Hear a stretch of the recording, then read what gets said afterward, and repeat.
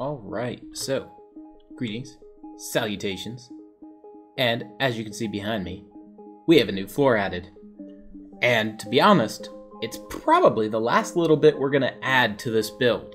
So, in addition to looking at that, we are going to do a full walkthrough of the build, just a generic overview. So, let's get to it. We, of course, have our bridge over. Nice little carpeted. In general, I'm pretty happy with this. I still really like the banners. I like the carpet caps. We get inside. I still like the color of the roof. Still like all this opening. Nothing down here has changed. Still the same old spot. So we'll just kind of breeze through. We'll get up here. That's where we start the new stuff. Still have our balcony. But alright. So, got a little creative on our way back because I wanted to keep the footprint for the water elevator as small as possible.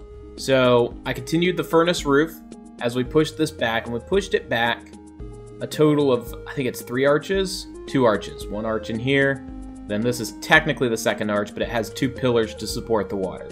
Opted not to put anything back here on the walls because there's really no need for decoration. Then we're using signs on the side to hold the water pillar elevated. And because we have the signs there, that allows us to do right over two blocks, the ascent, descent. So getting up here, you've got just two little paintings and then the first level balcony. If I were to have this as my survival build, this layer and the layer above would be where I'd be filling it with cats. So why is the room empty and not have stuff in it? Well, it's because... Well, let's just go ahead and do it. Cat. Cat. Cat. Cat. Cat. Cat. Cat. Cat. Cat. Cat. Cat. Cat. Cat. Cat. Cat. This is how my actual build would look. Although they'd all be tamed. I'm going one level up. This is the... I guess it'd be the uh, King's Balcony, the Owner's Balcony. It's the one that you're actually going up on. I've got things set up on those sides so I can get up on top of the fences. I just enjoy being up here. It gives me the best view I could possibly get. Let's see both of our other builds. Flowers, just using the two basic flowers. Our netherite armor present as long as two chests for cats to sit on. And then the blue room. We, uh, I went through a couple iterations of what this could be, from glass dome to stained glass panes to Oh, what else was in here? Several variations of what we've got now. And this is what we ultimately decided on. So we've got a blue glass block, light blue glass, right? Light blue? Yeah. Light blue stained glass roof that is just flat, covers it. It is edged over by the polished andesite. Then went with clear panes for the viewing view out over the desert, view out over the builds, and then a view out over the plains, which is probably where our next build is going to be. We have our cat here, same colors as Urist, so is up here on the bed. Everything up here went with blue theme, as I think the blue goes very well with the andesite. And yeah, that's the build. It's outside for the balcony, we went with similar to what we had done below, with the leaves and then the glowstone. Though because when you're down here, it can be difficult to see the leaves and get any reasonable texture off of them. Where did I see it from? I think it was over here at this dune.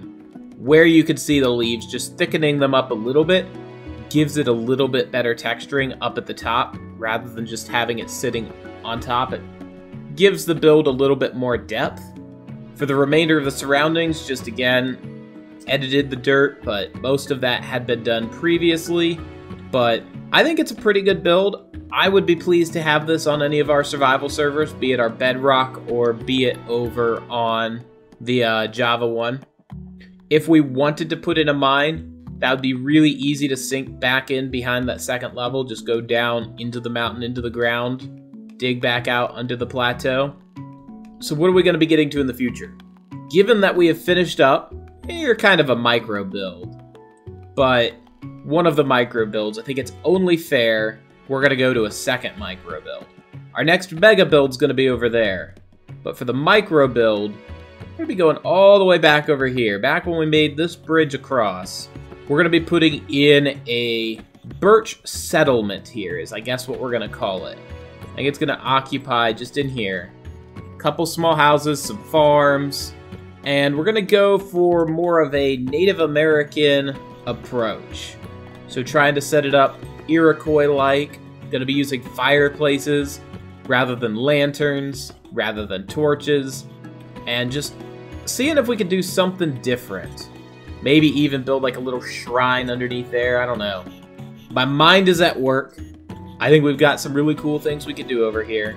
And we've got a lava fall that's burned down some stuff and also spawned the chickens. Or the chickens spawned the lava. One or the other. That happened. Sun is up. Build is over. Guys, I'm looking forward to seeing you next time. It's going to be enjoyable. We've got our builds. We're building up our Minecraft world. And in general, I mean, just looking back at the other builds, I really like how they're turning out. Each is something different. Each is something unique. And yeah, it's not your standard Minecraft. It's just some more Minecraft. So with that said, best of vibes to you all. I hope you guys are having great days, great nights, staying healthy. Cheers.